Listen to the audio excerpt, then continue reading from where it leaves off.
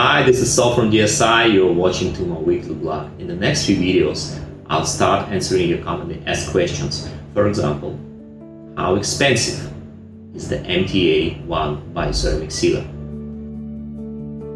We all know that bioceramics are the modern generation of the bioactive materials that are used extensively now in the endodontic therapy, slowly replacing the older generation of zinc oxide eugenol and resin-based sealers.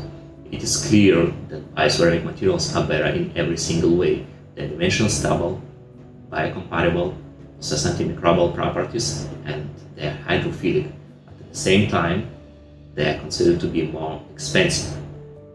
How expensive they are? Let's try and find it out.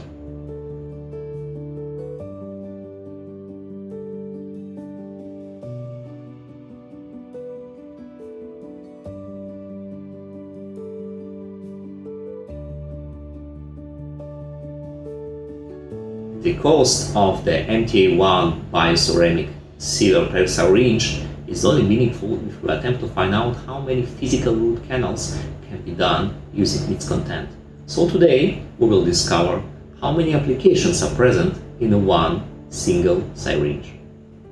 In this video, we'll review a practical benchtop experiment performed by Dr. Allen Nasseh from Real Life Endo team using the basic condensation technique, which is injecting outside the mouth on the paper pad and transferring the sealer in the root canal using the file and the Master Gutta Percha cone.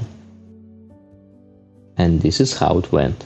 They put enough sealer on the paper pad to allow filling of a single canal. After measuring the amount used, they then checked how many times this amount can be extruded from one syringe to determine how many root canals can be done. The answer turned out to be 57 applications. This is the approximate amount of root canals you can obturate with a single 2 gram syringe of bioceramic sealer. And there is important detail. They didn't use the advanced root condensation technique which involves direct injection of the sealer inside the root canal and requires a microscope for adequate sealer placement and control. The basic technique does not require you to change the dispensing tip between the patients since the tip doesn't come in contact with the patient and the material does not set inside the tip unless not used for several days. The advanced technique is more efficient, requires a microscope but wastes a very small amount of sealer in the dispensing tip because the tip has to be changed between each patient as it comes in contact with the tooth.